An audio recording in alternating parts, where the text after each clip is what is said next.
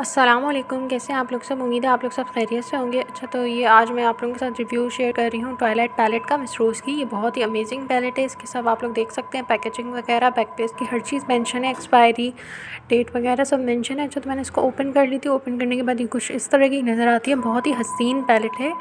Same as Huda beauty की nude palette की तरह है। ठीक है, नहीं, हुदा ब्यूटी की न्यूड नहीं हुदा ब्यूटी की जो दूसरी डस्ट गोल्ड पैलेट है, उसकी तरह है ये मिस रोज़ की भी पैलेट।